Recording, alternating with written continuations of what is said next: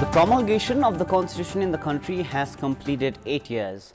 The initial euphoria of the national charter that ensured fundamental rights, including inclusive representation, has, however, given way to public grievances in the face of lack of good governance. Good evening, I'm Prarambha. Let's begin with the main stories. Political parties shouldering responsibility of implementing constitution themselves violating the national charter, fundamental rights and rights of marginalized yet to be ensured. Academic calendar affected as teachers resort to protest by shutting down the schools.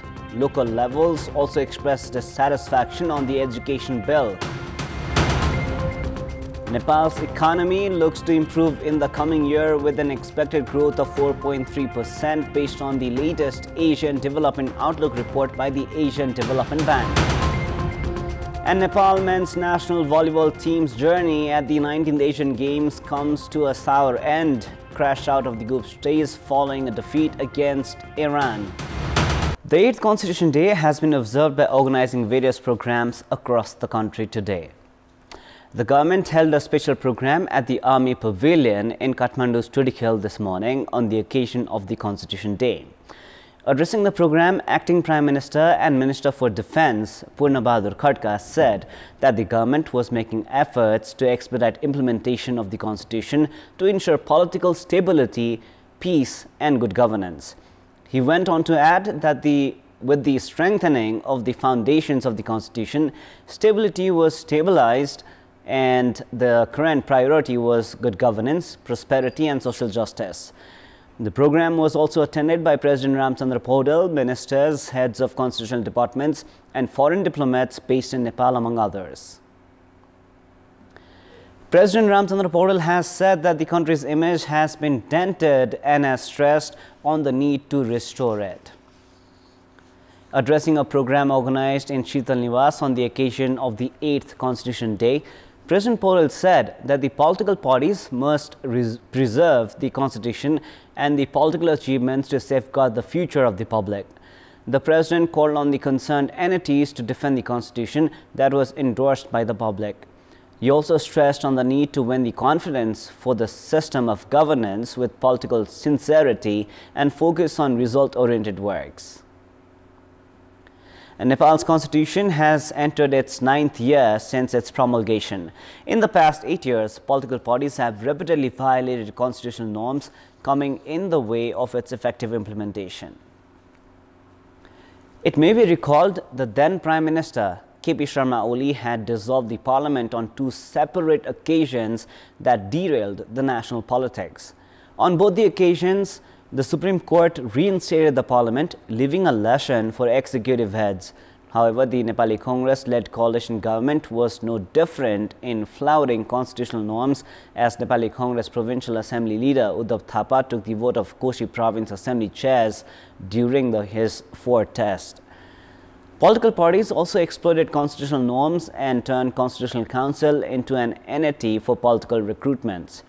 Former President Bidyadevi Bhandari as well violated the constitution by rejecting the citizenship bill on two occasions. Constitutional experts opine that while flaws exist in the current constitution, it is imperative for parties to uphold its sentiments and work towards improvements instead. The state's constitution has endorsed the rights of minorities and marginalized communities. However, the implementation has remained very feeble. Many representatives from the indigenous and Dalit communities and women say that their rights are still limited as political parties remain indifferent in working as per the constitutional sentiment of inclusion. There are quotas for the marginalized and the minority communities and relevant commissions have also been formed. The constitution also asserts that any discrimination based on caste or gender is punishable. However, stakeholders have said the laws have not been implemented efficiently. Many from the marginalized communities opine they no longer have faith in the constitution, which experts attribute to the apathy on the part of the political parties. In our public voice segment today, we have asked several people in the provinces regarding their take on the eight years of the constitution in Nepal. Let us now take a look at what they had to say.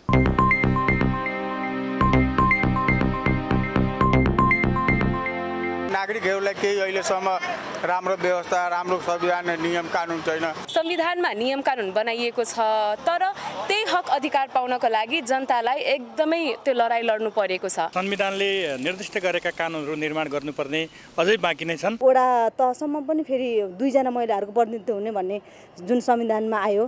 त्यो कुराले चाहिँ महिलाहरू चाहिँ उत्साहित नै भएको चाहिँ मलाई लागेको छ है। अझै पनि सङ्घीयताको पूर्ण कार्यान्वयन हुन नसकेको हो कि तिन तहका सरकार बिचमा आफै अझै कतै कन्फ्युजन हो कि? सारा जनताको न विदेश बेचे के गरे के गरे के राखे अन्त नेताले त केही त राखेन Teachers of community schools have resorted to protest by closing schools, citing discontent over a number of provisions in the education bill.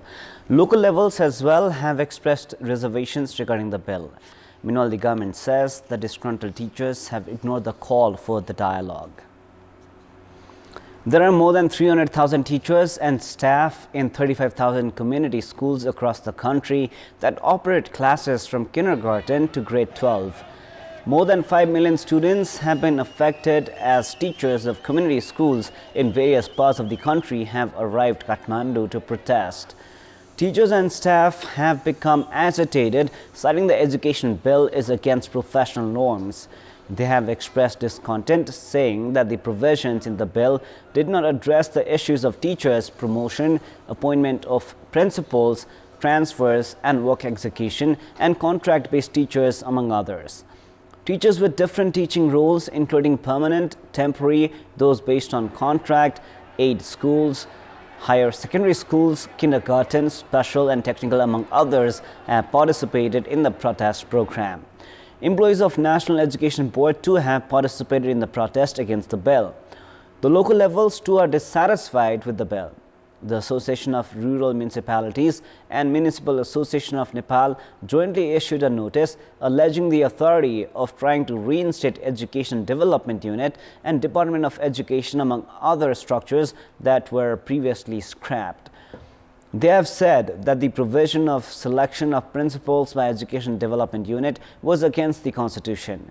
In the meantime, the Ministry of Education has said that suggestions concerning interests of teachers and staff of community schools have been included in the bill. The ministry has urged the agitated teachers to withdraw their protest programs and participate in talks.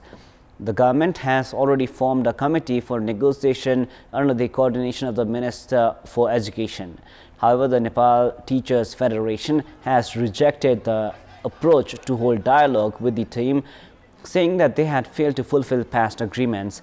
Vehicular movement from capital's New Baneshwar to Maitighar was affected for more than four hours today due to the protest programs. Nepal's economy looks to improve in the coming year 2024 with an expected growth of 4.3 percent based on the latest Asian Development Outlook report by the Asian Development Bank. The central bank's decision to lower the policy rate by 50 basis points to 6.5 percent is expected to help lower commercial interest rates and stimulate economic activities. Real estate, wholesale and retail trade among others are expected to perform better in the coming year. However, erratic weather patterns and rainfall attributed to climate change are expected to dent the agriculture produce. Economist Jan Hansen opines the government must meet its ambitious revenue target to avoid a substantial fiscal deficit, among others. This, uh, just by changes in monetary policy, uh, long-term economic growth uh, cannot be increased. But uh, this will require structural changes of the economy. Likewise, the report highlights that contractionary economic policy to stem price rises, considering the geopolitical tensions, could affect both production and consumption and eventually the growth of the nation as well. It is now time for our segment Public Pulse, where you text us with your opinion. Public Pulse. Before we ask today's question, let us take a look at the result from yesterday's polls. Yesterday we asked, why is the price of sugar increased drastically during festivities? 70% were for A, arbitrary price setting by traders, 24% were for B, feeble monitoring, and only 6% were for C, low production. And here is our today's question. What is your take on the ongoing teachers' protest? Your options are A. Politicization of education. B. Crisis of faith. NC seeking rights. The voting is on. Type NWS, select your option A, B or C and send it to 34001 to share your opinion with us. Sports News Team Nepal have crashed out from the volleyball tournament of the 19th Asian Games following their second successive defeat at the tournament.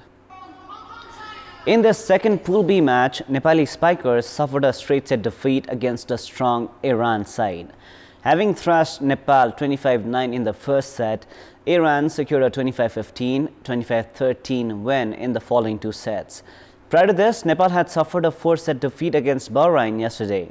As matches for rankings will not be held at the Asian Games, Team Nepal will now return home after two defeats. Meanwhile, women's foot volleyball team are set to make their debut at the Asian Games as well. The Nepali Eves take on Vietnam on the 30th of September, followed by a clash against South Korea on the 2nd of October. Under 19 SAFF Championship is slated to begin from tomorrow in Kathmandu. Host Nepal are aiming to win the tournament, which is being played at the Dasharath Stadium starting tomorrow. Now, defending champions India have claimed that they are the strongest contenders for the tournament.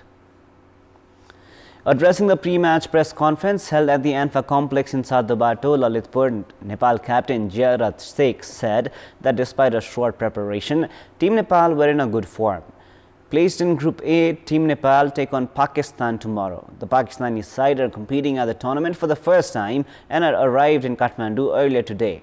Now, prior to this, Nepal and India had been crowned the champions on two occasions, which is each when the tournament was held in the under 20 and under 19 formats. That is all for the moment. Up next is the news in Nepali. Thank you for staying with us. Goodbye for now.